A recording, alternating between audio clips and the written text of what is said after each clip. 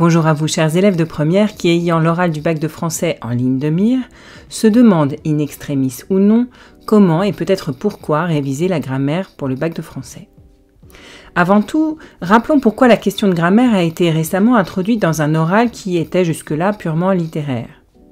L'objectif des concepteurs des programmes du lycée et donc des évaluations est que vous, élèves du système scolaire français, consacriez un temps de votre étude à la langue française afin de pouvoir la comprendre, la décrire, afin d'en connaître les caractéristiques, ce qui est très utile dans un monde plurilingue comme le nôtre, puisque connaître notre système linguistique aidera à mieux comprendre les autres.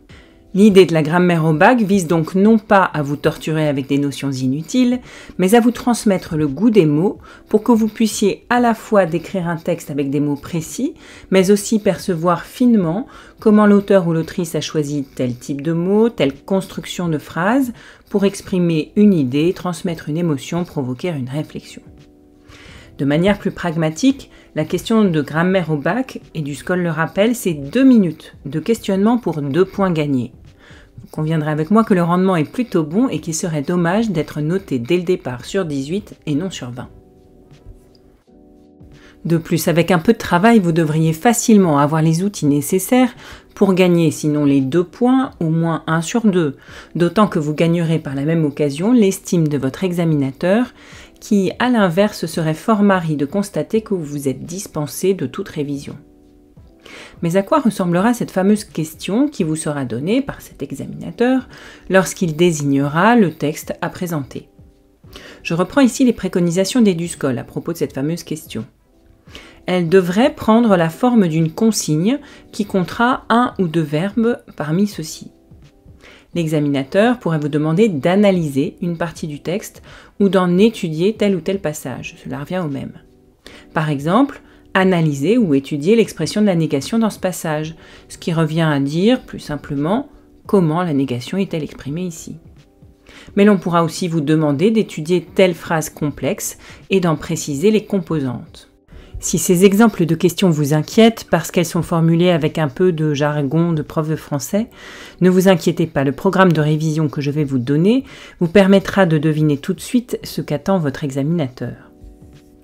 Autre possibilité, vous devrez peut-être transformer ou modifier telle ou telle phrase. Attention, il peut y avoir deux consignes en une question, à effectuer en deux temps.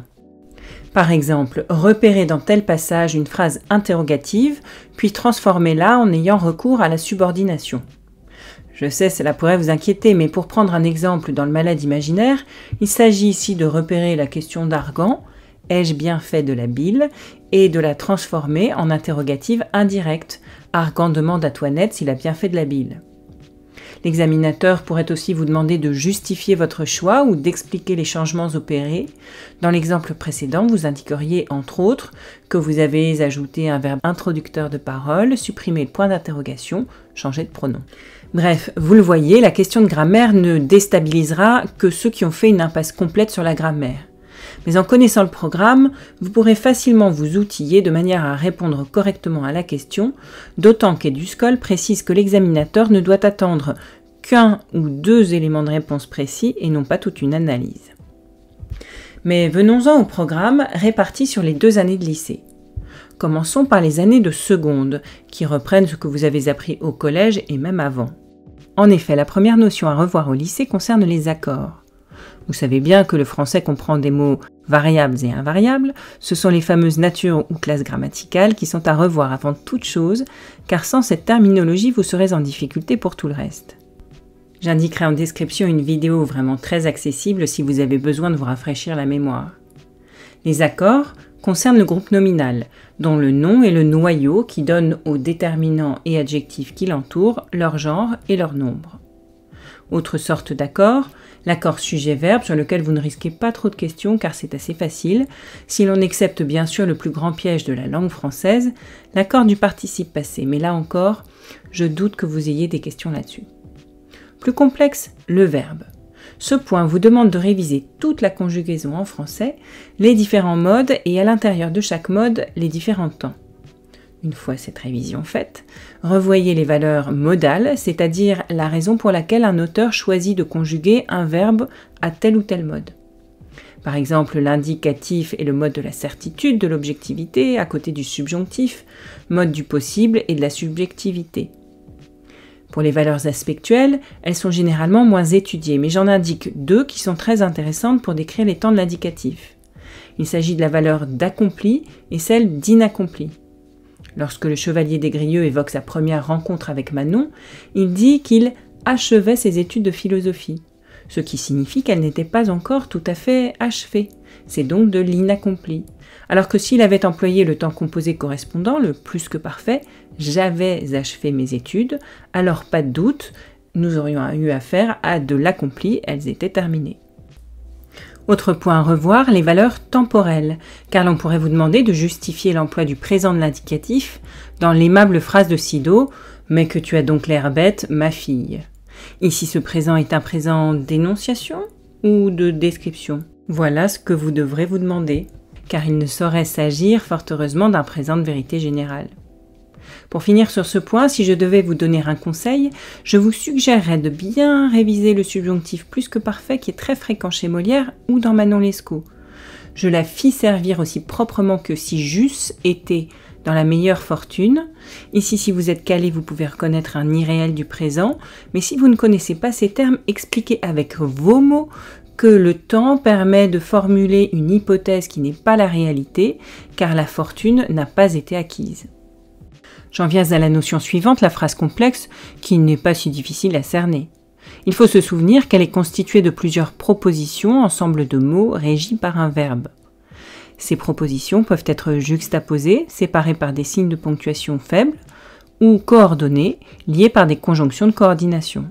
Ces propositions ne sont pas toujours si évidentes à repérer, je vous conseille de vous entraîner sur les textes que vous présenterez le jour du bac en repérant bien les verbes porteurs de sens. En revanche, la subordination est un, plus ample sujet et mérite que vous y consacriez quelques révisions dans un manuel ou par vidéo. La subordonnée relative au programme des secondes mérite de l'attention car elle est très fréquente puisqu'elle appartient au groupe des expansions du nom et donne des détails, des renseignements sur les noms ou les pronoms.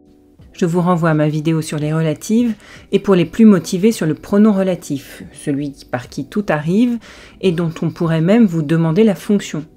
Là, petite astuce, si c'est un qui, il est forcément sujet. Par exemple, dans la phrase de Balzac sur les maisons de jeu, où il est question d'une loi qui protège une passion essentiellement imposable. Ici, la relative épithète commence par un pronom relatif qui, qui est aussi le sujet de protège une passion. Mais passons au programme de première qui comprend trois grandes notions. Je rappelle que vous pouvez aussi être interrogé sur les points précédents. Tout d'abord, sous-chapitre de la phrase complexe et de la subordination, les subordonnées conjonctives circonstancielles. Elles sont introduites par une conjonction de subordination, comportent un verbe, peuvent être supprimées sans que la phrase devienne incorrecte grammaticalement. Elles apportent, comme leur nom l'indique, des détails sur les circonstances. Celles qui ont été notées dans la fiche EduScol sur la grammaire au bac permettent de traiter des liens logiques à l'œuvre dans une phrase la cause, la conséquence, le but, la condition, la concession. Si vous avez besoin d'un rappel, je vous renvoie à ma vidéo sur les compléments circonstanciels, mais il ne s'agit pas d'un point si difficile. La seule question que l'on pourra vous poser à ce sujet, c'est d'identifier la nature et la fonction de la subordonnée, ou de transformer une phrase pour faire apparaître une subordonnée. Un exemple, si Renoncourt dit Ayant repris mon chemin par Évreux, j'arrivais le lendemain pour dîner. Vous ajouterez une conjonction de subordination et conjuguerez le verbe parce que j'avais repris mon chemin par Évreux et vous ferez apparaître une subordonnée conjonctive circonstancielle de cause. Pour ce qui est de l'interrogation, il y a fort à dire et je vous renvoie à mes vidéos sur le sujet. Vous pourrez en tout cas observer la forme de la phrase, s'il y a inversion du sujet et du verbe ou pas, ou un simple point d'interrogation.